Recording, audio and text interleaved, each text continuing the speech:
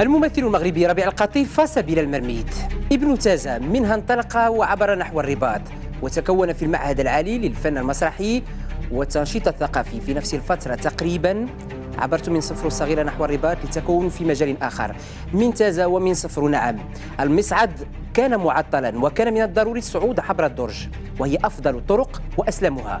جميل أن يبدأ الإنسان من نقطة البداية والأجمل أن يصنع نفسه بنفسه. ربيع القاطي صنع نفسه بنفسه وله اختياراته وكثير منها يحترم وبعضها يستحق النقاش. اليوم سأناقشه بخصوص كثير من اختياراته وهذا لن يغير رأيي في آخر المطاف.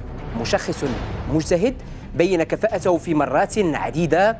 يتلقى اقتراحات للاشتغال في عدد من الأعمال الأجنبية وإن كان يمنح الأسبقية للأعمال المغربية. نقاش اليوم مع ابن تازا.